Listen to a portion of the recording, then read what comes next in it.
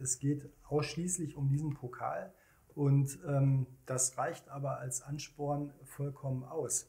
Machen das ja so, dass wir ja die EM oder WM ja direkt nachspielen, in dem Fall jetzt die EM 24 und wir rüsten die Mannschaften ja so gut es geht mit den bestmöglichen Trikots aus. Also das heißt möglichst nah an der Realität wenn nicht sogar Originaltrikots. Also die Story, die Geschichten hinter der Schlagzeile, der etwas andere Nachrichtenpodcast der Goslaschen Zeitung. Ich bin Senja Knöbel und spreche mit meinen Kollegen aus der Redaktion und dem Newsdesk über wöchentliche Aufreger, über politische Debakel und den allgemeinen Wahnsinn aus Goslar und Umgebung. Am heutigen Samstag und morgigen Sonntag findet auf dem Marktplatz die heiß ersehnte Goslarer Mini-M statt. Aus diesem Grund habe ich die Organisatoren Lutz Scheibel und Henning Bartel eingeladen, um mit ihnen hinter die Kulissen der Veranstaltung zu schauen. Wie bewerben sich die Mannschaften und wer stellt die Trikots? Wir drei reisen gedanklich in der Zeit zurück und sprechen über die ersten Mini-EM-Turniere. Die Spielerinnen und Spieler mussten in den Anfängen des Turniers körperlich einiges aushalten, denn es wurde nicht immer auf einem hochwertigen Kunstrasenplatz gespielt.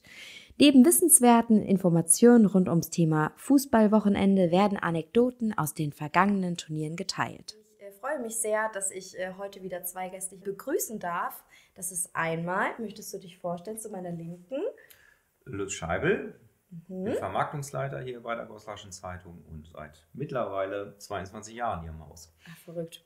Lange Zeit. Ja. Ganz, ganz so lang bin ich noch nicht da. Ich bin Henning Bartel, Leiter Lesermarkt und Marketing ich bin erst seit 14,5 Jahren bei der Goslaschen Zeitung, aber ich finde, das ist auch eine, eine durchaus äh, lange Zeit. In unserer heutigen Folge, wo wir ja über die ähm, Mini-EM sprechen, die heute stattfindet. Wir starten sowohl am Samstag als auch am Sonntag um jeweils 10 Uhr. Am Samstag spielen wir die Gruppenphase. Wir haben ja sechs Gruppen, A4 Mannschaften. Ähm, da sind wir so bis ca. 17.30 Uhr auf dem Goslarer Marktplatz. Und am Sonntag steigen wir dann um 10 Uhr in die K.O.-Phase ein.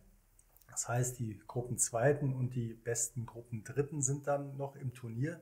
Und äh, dann spielen wir im Prinzip den Originalspielplan der, der originalen Europameisterschaft. Und das Finale auf dem Goslarer Marktplatz, das wird dann um 14.30 Uhr angepfiffen. Okay, der normale Spielplan jetzt so als Person, die sich jetzt nicht so viel mit Fußball auseinandergesetzt hat. Wie sieht der normale Spielplan denn aus? Also der normale, der reguläre Spielplan ist so, dass wir in sechs Gruppen spielen mit äh, vier Mannschaften und äh, ja, aus jeder Gruppe kommen die besten, äh, die zwei besten Mannschaften sicher weiter. Und dann gibt es noch, das ist jetzt neu, weil es 24 Mannschaften sind, noch so ein Tableau, dass die besten Gruppen Dritten, die vier besten Gruppen Dritten weiterkommen. Oder sind es sechs? Nee, ich glaube vier sind es, ja, okay. Mhm. Ähm, und dann gibt es Achtelfinale, Viertelfinale, Halbfinale. Es gibt bei der Europameisterschaft kein Spiel um Platz 3, sondern dann geht es direkt mit dem Finale ähm, zu Ende sozusagen. Und ähm, ja, wir, die Teams, die wir haben, die spielen ja, in, die sind ja einem Land zugelost und ähm, die sind in den originalen Gruppen, so wie es auch bei der richtigen EM ist. Das heißt, wir haben wirklich den originalen Turnierbaum sozusagen vor uns. Genau. Schön, danke schön für die Erklärung einmal. Hm, möchtest du, Lutz, einmal zusammenfassen, wie die Auslosung bzw. wie die Bewerbung generell vonstatten geht? Mhm. Wie bewerben sich die Fußballvereine und die Mannschaften und wie werden diese den großen Nationen bzw. Mannschaften zugeteilt? Genau. Also bewerben ist, ist es so, dass der äh, Uwe Klose ist einer von äh, dem SV Rammelsberg, der hilft uns ein bisschen bei dem Kontakt der Mannschaften ähm, der hat sozusagen das Ohr auf der Schiene, der kennt halt die ganzen Vereine und die entsprechenden Obleute und Trainer und sucht den Kontakt zu den entsprechenden Vereinen und äh, lotet halt aus, wer alles teilnehmen kann und wer spielberechtigt ist und so weiter. Dann können sich die Vereine dort bewerben bei ihm und wir fragen dann bei dem Uwe äh, dann ab, welche Mannschaften in Frage kommen, beziehungsweise er meldet uns die. Und die werden entsprechend dann angeschrieben, die Vereine. Dann wird ein Auslosungstermin äh, vereinbart, sowohl mit den Vereinen als auch dann mit den Sponsoren. Ich bin mit meinem Team dann verantwortlich, äh, entsprechend Sponsoren zu suchen für eine EM 7, äh, 24 Mannschaften, für eine WM 32 Mannschaften mhm. im Idealfall. Und ähm, genau, und dann legen wir einen Termin fest, das meistens so Anfang April. Und dann treffen wir uns in einer Location äh, unserer Wahl. Das haben wir jetzt öfter im Schiefer gemacht. Ähm, wir haben es jetzt das letzte Mal im Hotel Alte Münze gemacht. Ähm, da gibt es halt einen Raum, wo sich dann alle treffen und äh, dann machen wir eine richtige Auslosung, wie das auch bei so einer EM oder WM im Fernsehen auch manchmal zu sehen ist. Und dann sind auch alle Mannschaften dabei? Da sind hoffentlich alle Mannschaften dabei. In Wirklichkeit ist es so, es fehlen die ein oder anderen Vertreter. Also wir laden immer einen Trainer ein plus einen Spieler und den Sponsor. Äh, dass nicht alle Zeit, nicht alle Zeit haben an dem einen Termin, ist äh, sicherlich so in der Natur der Sache, liegt also. Und ähm, ja, aber wie gesagt, wir haben also zumindest in der letzten Zeit über 50 Prozent Teilnahme gehabt. Und wie gesagt, das ist auch kein Problem. Wir können dann entsprechend halt auch informieren und sind ja auch im regen Kontakt mit den Vereinen und den Sponsoren. Ja. Ähm, wie äh, alt darf man denn maximal sein, um äh, an den Spielen teilzunehmen? Man muss für die E-Jugend spielberechtigt sein. Das heißt, die Spieler, die bei uns auf dem Marktplatz sind, sind nicht nur Spieler, sind auch Spielerinnen dabei, sind zwischen acht und zehn Jahren. Okay, und wie lange geht ein Spiel? Ein Spiel dauert zehn Minuten in der Vorrunde. Es ist so, dass die bei den K.O.-Spielen, ich glaube, es ist ab dem Halbfinale so, dass wir die Spielzeit auf zwölf Minuten erhöhen. Genau, und es wird ja ähm, mit vier Spielern auf dem Feld gespielt und es wird auch mit Bande gespielt, beziehungsweise ohne Torwart. Ne? Also dann ist man genau. immer so als Springer, ähm, beziehungsweise muss halt den Ball dann irgendwie so abwehren. Der, darf, der Ball darf nicht in die Hand genommen werden. Genau. Der letzte Mann oder letzte Frau, wie auch immer, muss dann sozusagen versuchen, immer die Hände irgendwie hinter den Körper zu halten oder so, dass zumindest es durch einen Zufallstreffer nicht irgendwie dazu kommt, dass es dann halt einen entsprechenden Strafstoß gibt. Ja, ich hatte auch noch die Frage aufgeschrieben, worum wird gespielt, aber ich fand es einfach so schön, dass ihr gerade mit diesem Pokal reingekommen seid. Das, das, Objekt der Begierde steht äh, praktisch vor dir. Wir ich haben äh, einen, einen schönen großen Pokal den bekommt äh, die Siegermannschaft überreicht. Es gibt tatsächlich ansonsten nur Ruhm und Ehre. Also es gibt kein Preisgeld oder äh, irgendwelche äh, anderen Geschichten. Es geht ausschließlich um diesen Pokal. Und ähm, das reicht aber als Ansporn vollkommen aus. Ähm, weil ähm, natürlich ähm, diese Emotion auf dem Goslarer Marktplatz einfach so diese Spieler auch gefangen nimmt, dass, da, ähm, dass sich da wirklich in der Vergangenheit höchst emotionale Szenen abgespielt haben, sowohl auf der Gewinner- als auch auf der Verliererseite. Und ähm, wenn man sieht, dass wir in aller Regel dann am Montag ein Titelbild auf der Goslaschen Zeitung haben, an, äh, auf dem einige äh, die siegreiche Mannschaft diesen Pokal in die Höhe reckt, voller Stolz, dann ist das natürlich ein absoluter Höhepunkt in so einem äh, jungen Fußballerleben. Total. Also auch ja dieses, dieses zusammengewürfelt werden und dann halt auch einfach miteinander spielen, dieses, dieses Mannschaftsgefühl, darum geht es ja halt auch. Ja, und es muss ja nicht immer um das Große gehen. Also ich finde diesen Pokal, wow, ich finde den schön. Also ich hätte den auch gern.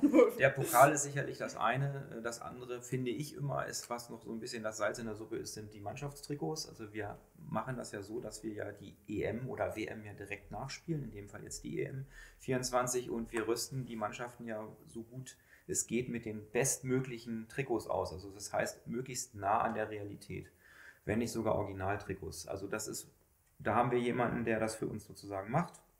Ähm, und ähm, das ist halt auch nochmal so ein Faktor, warum die Spieler sich diese Trikots sicherlich auch über Jahre aufbehalten, stolz vielleicht im Schrank haben oder irgendwo, was weiß ich nicht, vielleicht sogar einrahmen, gibt es auch.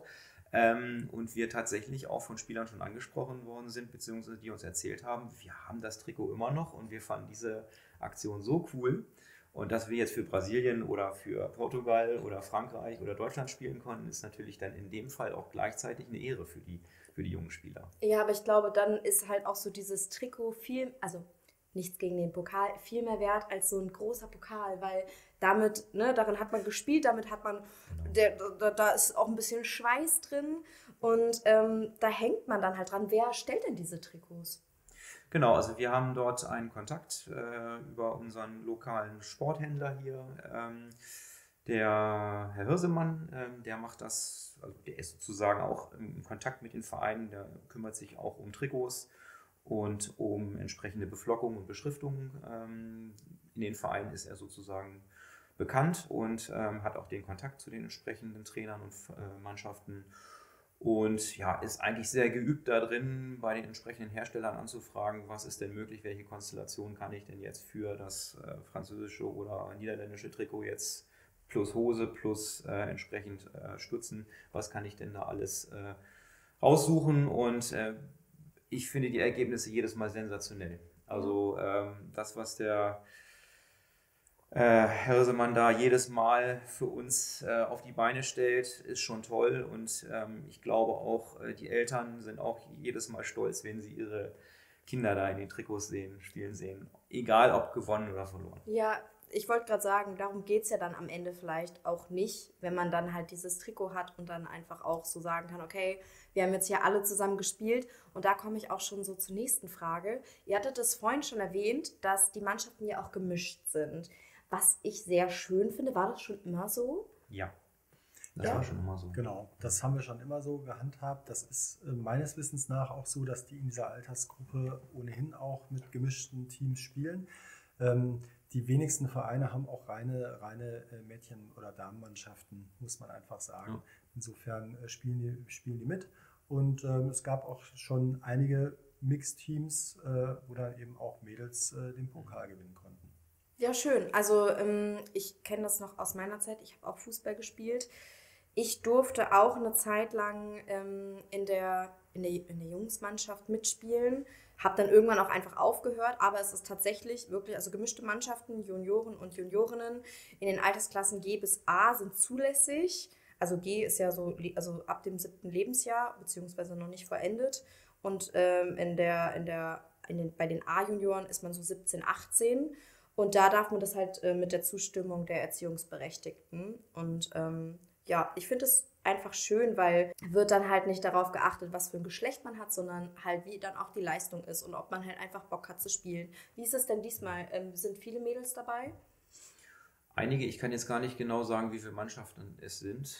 Ähm, da bin ich ehrlich gesagt auch überfragt. Es aber es sind meistens zwei, drei so im Schnitt. Also es sind also ne, gemischte Mannschaften, Reine Mädchenmannschaften hatten wir jetzt, glaube ich, ein, zwei Mal erst. Ähm, aber ja. das ist äh, immer wieder der Fall und ähm, wie gesagt, also gerade bei den gemischten Mannschaften, es fällt in dem Alter überhaupt nicht auf, ehrlich ja. gesagt. Also die Leistungsfähigkeit ist da genauso gegeben und ähm, das ist ähm, immer wieder erstaunlich, äh, auch was für eine Schusshärte da schon äh, in dem ja. Alter und auch gerade bei den Mädels da halt äh, ja, vorherrscht. Also das ist schon, schon enorm. Die Mini-EM und die Mini-WM gibt es ja seit 2006.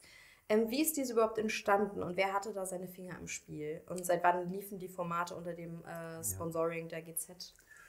Ja, da kann ich vielleicht was dazu sagen. Ähm, also das war eine Idee, ich weiß nicht, ob es eine grundsätzliche Idee war von meinem Vorgänger, dem Gerd Nius.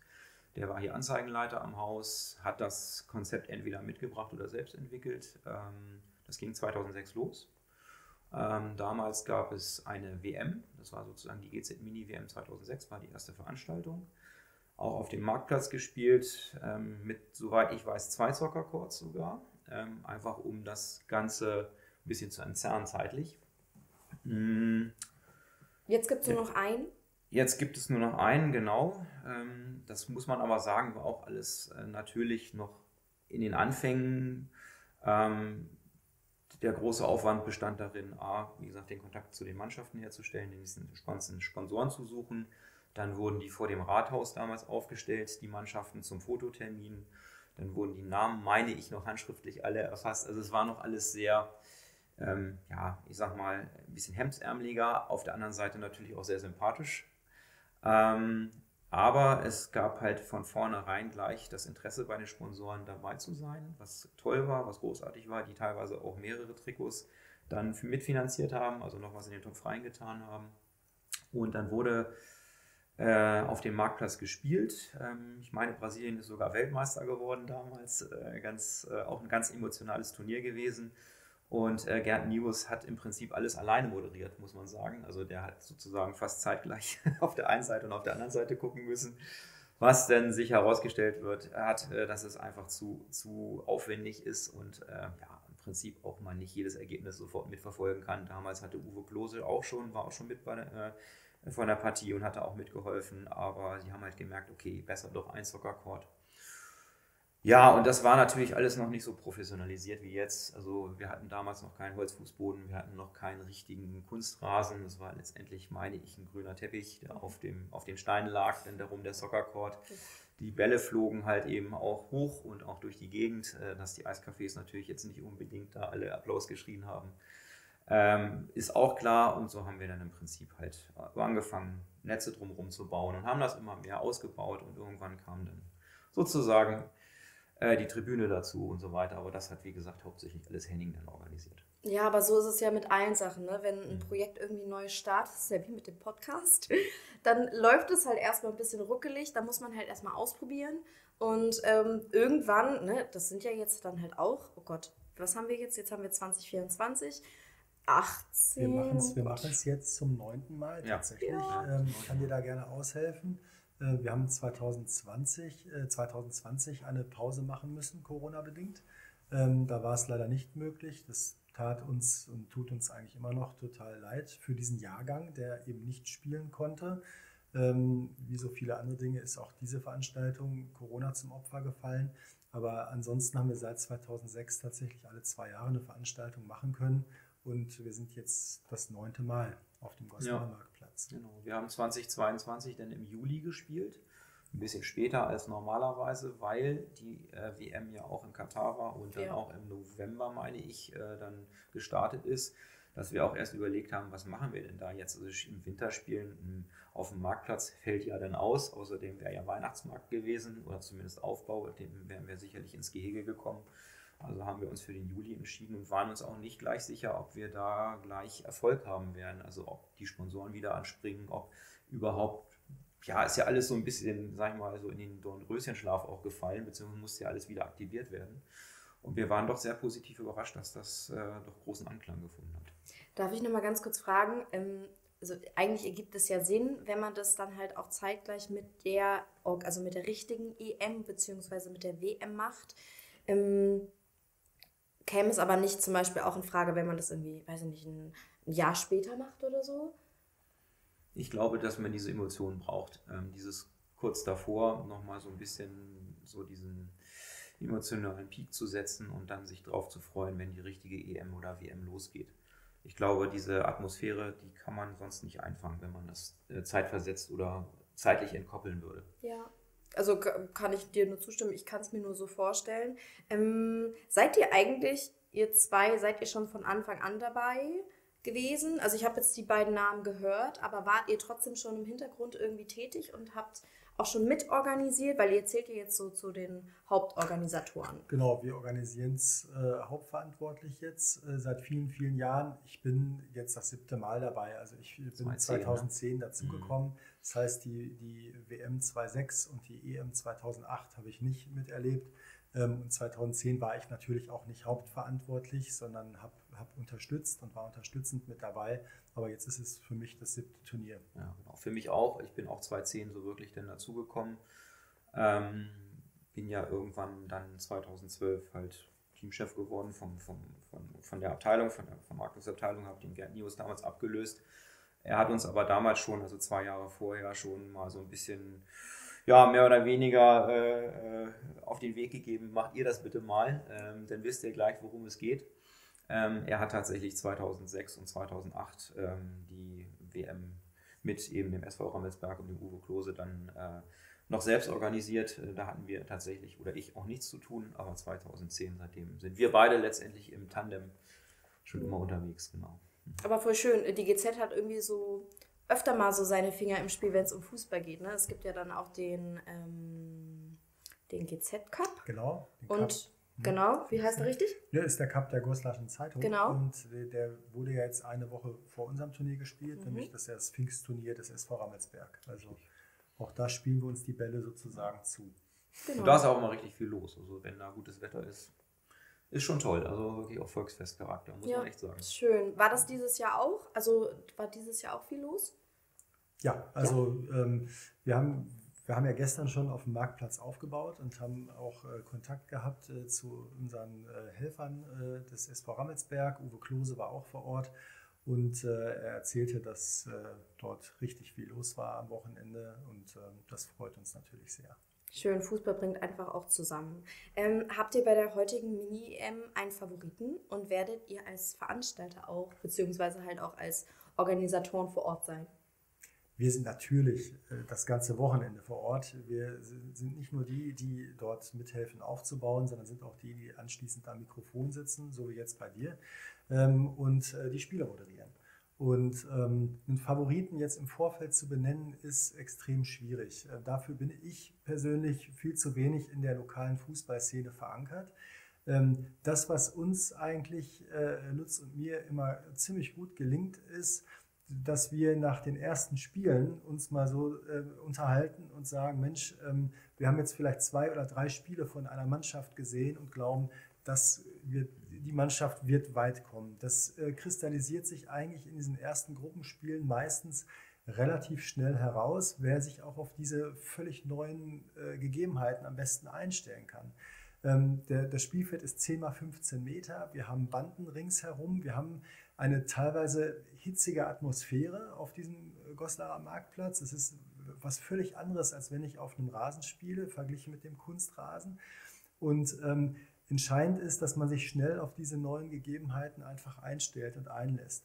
Und ähm, das ist meistens relativ schnell zu erkennen, welche Mannschaft mit diesen Umständen am besten klarkommt. Und die kommen in der Regel auch ziemlich weit im Turnier. Ja, schön.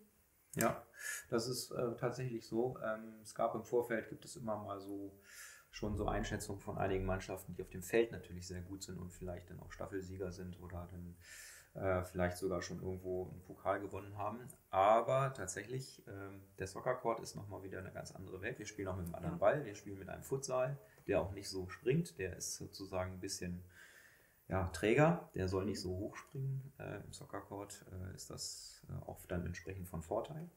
Und ja, äh, Stollenschuhe sind auch nicht unbedingt von Vorteil. Also das heißt, flaches Schuhwerk äh, kann durchaus weiterhelfen. Das hängt immer davon ab. Hat es geregnet, dann ist dieser Untergrund natürlich mit dem Kunstrasen auch sehr glitschig. Das muss jeder für sich selbst bewerten, aber wir raten letztendlich immer von Noppen- oder Stollenschuhen komplett ab. Ja, okay. Dann wissen, glaube ich, unsere Zuhörer für heute auch Bescheid. Ich fände es sehr schön, wenn sich ganz, ganz viele auf dem Marktplatz nachher versammeln. Ab wie viel Uhr nochmal? Ab 10. Sehr gut. Und ähm, ja, einem äh, schönen Spielen zuschauen und dann vielleicht auch am Sonntag einfach dabei sind. Was sind eure vorerst letzten Worte zu diesem Thema Mini-M, Mini-WM hier in Goslar?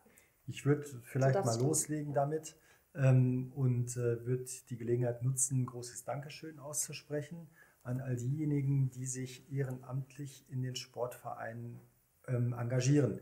Denn ähm, wir erleben das äh, im Zuge dieses Turniers einfach, dass da ganz, ganz viele Helferinnen und Helfer, Trainer, Betreuer, auch Eltern einfach sind, die die Kinder hin und her fahren und den Kindern dieses, äh, diese Teilnahme an dieser Veranstaltung ermöglichen.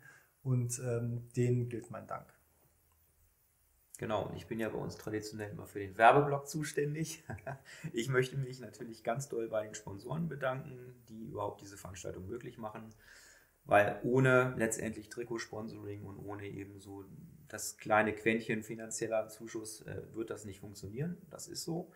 Ähm, also wie gesagt, herzlichen Dank an alle Sponsoren und natürlich ein Aufruf an alle Eltern und mitfiebernden Fans, bitte kommt zum Marktplatz, macht die Hütte voll und dann, glaube ich, wird das eine ganz tolle Veranstaltung.